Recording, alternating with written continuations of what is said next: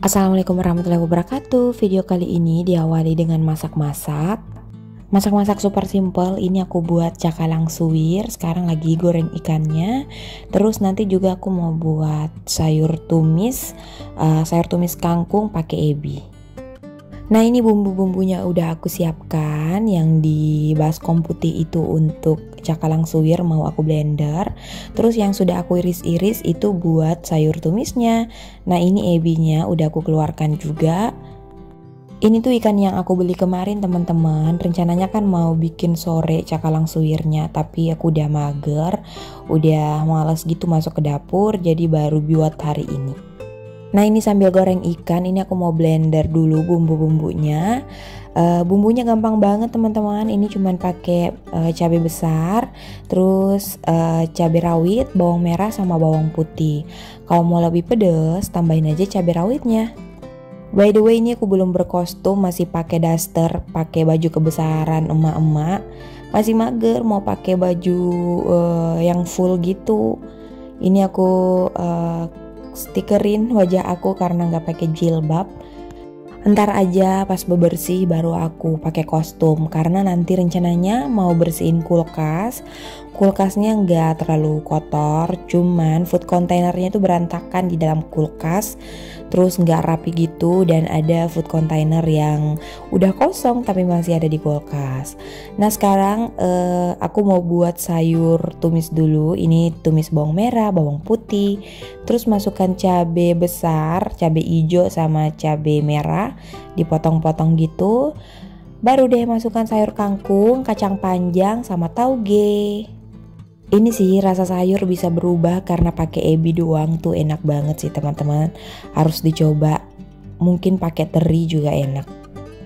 Nah masaknya itu cepet teman-teman, cuman menyiapkan bahan-bahannya itu loh yang lama.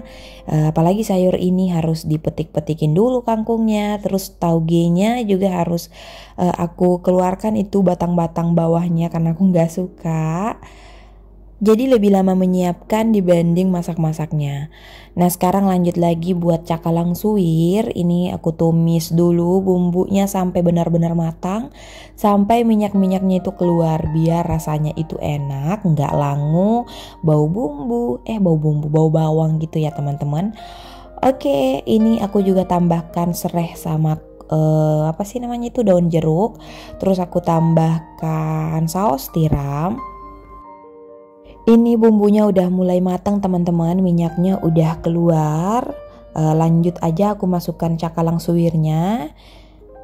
Terus aku tambahkan kecap. Nah, kalau nggak pakai kecap sih terserah teman-teman ya. Kalau mau warna merah gitu, tapi kalau aku lebih suka pakai kecap karena aku tuh anaknya doyan manis, nggak suka kalau nggak manis-manis gitu. Oke, udah jadi. Simple banget kan cakalang suwir ini. Oke teman-teman, habis ini aku mau makan, mandi, sholat duhur, terus lanjut mau bersihkan kulkas. Nah ini aku udah mandi, Mada masih tidur, uh, lanjut aja aku bersihkan kulkas. Mumpung enggak ada yang gangguin. Malaika juga lagi main di kamar. Nah ini ya teman-teman seperti yang aku bilang tadi eh, nggak uh, terlalu kotor kulkasnya, cuman food containernya itu berantakan parah. Banyak juga uh, food container yang udah kosong atau uh, ada bahan tapi sisa dikit doang. Jadi ini aku mau bersih bersihin dulu, uh, lap lapin juga rak-raknya nggak aku cuci karena belum lama ini ya aku cuci uh, kayak cuci bersih gitu cuci pakai sabun rak-raknya. Makanya ini dilap-lap aja. Dan ini sambil aku lap-lapin malaikat teriak kalau Mada udah bangun. Jadi ini aku cepet-cepet baru ambil Mada. Oke itu dia udah bangun teman-teman dan ternyata Malika pakein adiknya empeng e, dipikirnya bakalan tidur lagi ternyata udah bangun karena emang udah lama banget tidurnya. Dari tadi pas aku masak sampai saat ini dia baru bangun. Oke daripada ini tinggal di luar bahan-bahan aku kerjain sambil jagain Mada Dan nanti Malaika juga bantuin teman-teman. Seru banget sih aku dibantuin sama anak-anak. Biasanya kan sama pak suami. Tapi ini sama anak-anak yang bantuin. Aduh sweet banget sih. Apalagi Malaika. Dia tuh udah pintar banget bersih-bersih. Kalau Mada sih uh, membongkar-bongkar gitu teman-teman. Apa yang sudah dibersihin dia bongkar lagi. Nah kalau Malaika dia yang bersihkan. Nah ini food containernya aku lap-lapin dulu. Soalnya ada bekas-bekas gitu bekas-bekas aku pegang uh, agak kotor gitu. Jadi ya aku lap-lapin semua biar lebih rapi lagi nanti. Terus ini bahan-bahan yang udah sedikit aku satuin aja biar nggak terlalu banyak food container di kulkas. Kayak daun jeruk terus uh, apa sih namanya? Uh, jeruk nipis serai sama asam aku satuin aja dan di sini Mada makan jeruk nipis teman-teman. Aku pengen lihat ekspresinya dia makan jeruk nipis, tapi ternyata dia doyan. Malah dia makan terus tuh. Itu tuh jeruk nipis yang udah kebuka loh teman-teman. Malah dia emut-emut. Biasanya sering ya teman-teman uh, ada ibu-ibu kasih anaknya jeruk nipis pengen lihat ekspresi lucu bayi kalau makan jeruk nipis eh ternyata ini uh, Mada nggak bergeming. Dia lebih suka jeruk nipis tuh. Lihat aja tuh dia sambil emut-emut. Seharusnya kan wajahnya itu ekspresinya lucu gitu tapi ternyata dia suka. Oke ini Malaika udah datang udah berhenti main. Sekarang dia lanjut buat temenin aku bersih-bersih uh, food container tuh. Dia pelap-lap aduh uh, belibet deh. Dia lap-lapin gitu food containernya ternyata anak aku ini udah besar teman-teman. Aduh lucu banget sih. Ini bantu-bantuin uh, beres-beres. Nanti juga dia lap-lapin kulkas. Nanti teman-teman lihat aja deh keseruan kami bersih-bersih rumah Nah semuanya udah beres, uh, food container yang udah kosong udah aku taruh di sink mau dicuci. Sekarang lanjut mau uh, rapi-rapiin dulu food container di dalam kulkas. Nah ini masih ditemenin sama Malaika.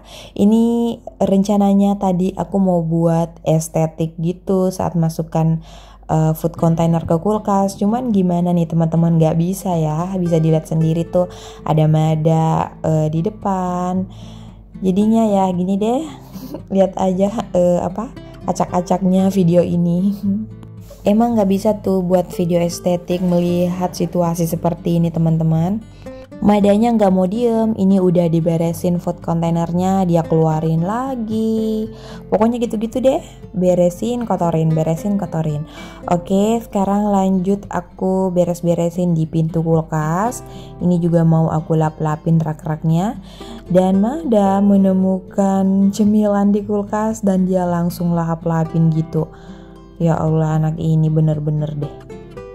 Nah aku masih dibantuin sama Malaika lap-lapin uh, Terus ini aku juga sambil kerja yang lain biar cepet gitu Aku tuh dulu pengennya bebersih pas anak-anak lagi tidur biar videonya juga uh, perfect, perfect.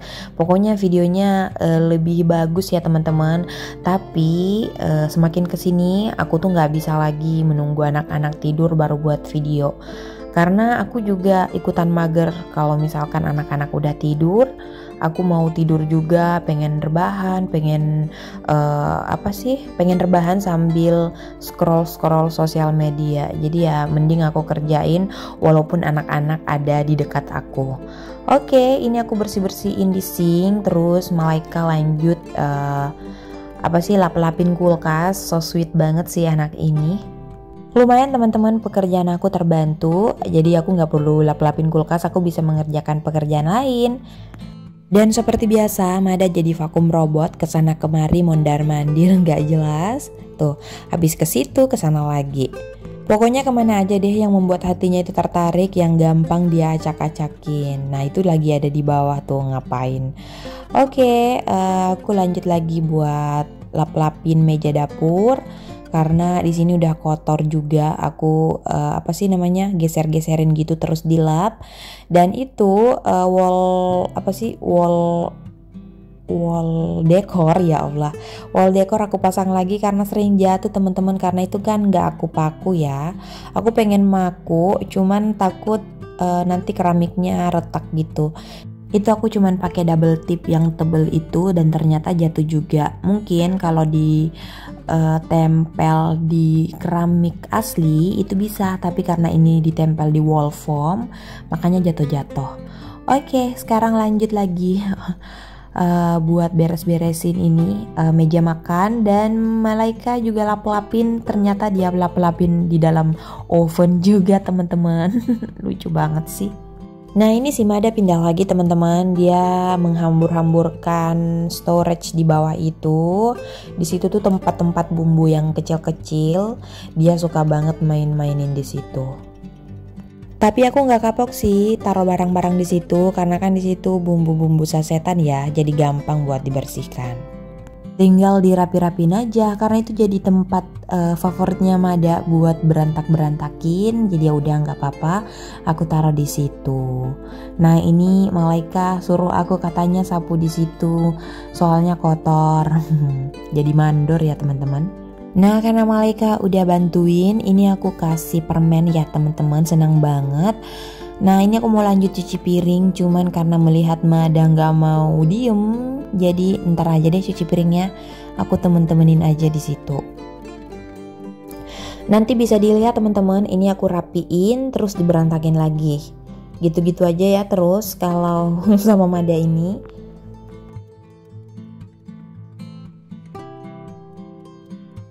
Tuh kan diberantakin lagi, tuh dibuka lagi ya udah deh aku biarin aja di situ. Oke lanjut teman-teman. Ini aku rapi-rapiin bantal sofa dulu. Di sini tuh nggak terlalu berantakan ya karena tadi pagi aku beres-beresin tapi nggak aku videoin. Nah itu kalian lihat sendiri ekspresi dan kejahilan Mada. Nah kayak gitu teman-teman. Dia mau ngambil sesuatu di bawah meja tapi nggak bisa Yuk kita lihat Mada yuk. Ekspresinya tuh kayak gimana tuh? Lucu banget. Tuh kakinya. Ngambil-ngambil Mau ngambil gitu tuh. Nggak bisa. Anak ini deh kadang bikin greget Kadang bikin ketawa juga. Nih. Mau apa? Mau ambil apa? Hah? Mau ambil apa kamu? Mami lama ini. Nah udah sore teman-teman, anak-anak pada tidur. Ini udah jam 4 aku habis salat asar. Aku mau lanjut cuci piring karena udah full banget di sini. Tapi nggak aku videoin karena aku nggak pakai jilbab. Biar ini cepet juga aku kerjain, jadi nggak perlu aku videoin dan selesai aku uh, dapurnya udah kelar sekarang lanjut lagi mau uh, menjemur pakaian by the way ini aku voice over lagi hujan di luar semoga suaraku nggak keganggu ya Pokoknya akhir-akhir ini hujan mulu teman-teman di Makassar. Uh, kayaknya sih tiga hari ini bakalan hujan terus-terusan. Tapi semoga nggak yang intens ya teman-teman karena kemarin ada pemberitahuan waspada karena bakalan hujan terus-terus. Kita berdoa aja semoga semua aman-aman di sini. Nah ini aku jemur-jemur pakaian dulu. Habis ini aku mau putar lagi. Uh, ya gitulah. aku selalu uh, cuci pakaian itu berkelotor-kelotor ya.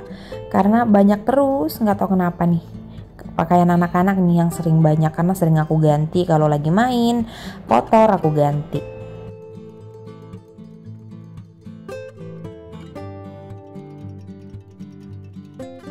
Nah ini pakaian yang aku rendam Jadi kalau ada pakaian-pakaian yang benar-benar kotor Aku rendam dulu pakai sabun Sabun cuci Terus aku lanjut masukkan ke mesin cuci Biar lebih bersih tapi kalau sekiranya yang gak terlalu kotor ya enggak langsung masuk ke mesin cuci aja.